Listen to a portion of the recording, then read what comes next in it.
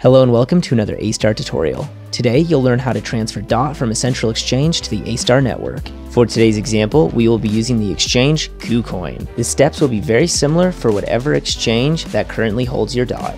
Without further ado, let's get started. First, you'll need to navigate to the wallet section of your exchange. For KuCoin, this is found under the wallet icon in the top right corner of the screen. Next, you'll need to select main account. Find where DOT is located in your wallet from here, find the withdraw button and click it. We will now need to copy your Polkadot native wallet address. Navigate to the top of your screen and find the native wallet extension. We are using the Polkadot.js native wallet. Before copying your wallet address, it is crucial that you verify your wallet is set to display your Polkadot relay chain address. The native wallet supports Polkadot, Kusama, Substrate, and the individual parachain addresses. Do not skip this step as this can cause lost coins and potential transfer issues. I will show you now how to verify your address is correct. Click the cogwheel in the top right corner of your native wallet. You will see under the display address format 4, we have substrate selected. We need to change this. Click the drop down box and select the Polkadot relay chain. You will notice that your wallet address has now changed. Verify that it begins with a 1, and if it does, this means you are now using your Polkadot relay chain address.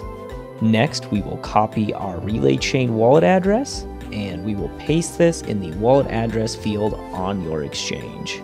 If your exchange has a network option, make sure you select the Polkadot network like shown here on KuCoin. Enter the amount of DOT you'd like to withdraw. This account has 5.2 DOT available, so we will withdraw 5 double check all of your fields and if everything looks good, go ahead and press withdraw. Another dialog box will pop up and you'll need to confirm the withdrawal once more, complete the additional security checkpoints, and press submit. You should see a success notification of some sort, and now we will navigate to the Astar portal to see if the DOT has arrived. If you've used the Astar portal before, your wallet should auto-connect. Double check and make sure that you aren't connected to your MetaMask wallet as well. If this is your first time using the Astar portal, click where the highlighted box is and connect your native wallet. From here, you'll navigate to the XCM button under XCM Assets. Under the XCM panel, you should see DOT at the bottom. There, you will see Balance. As you can see, I have 4.985 DOT, meaning the transfer was successful.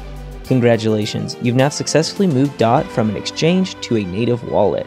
Check out our next tutorial to learn how to use XCM to move your DOT from the relay chain to the Astar network.